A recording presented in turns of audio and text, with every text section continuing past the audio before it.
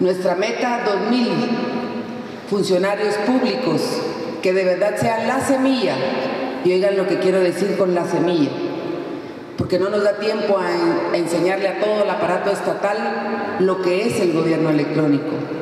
Pero ustedes se pueden convertir en multiplicadores si lo toman en serio, si lo toman con responsabilidad, pero sobre todo si ven en esta herramienta la posibilidad de erradicar un mal que le hace tanto daño al país como es la corrupción. Por eso los quiero motivar. Ya tienen el primer diploma, pero no es suficiente.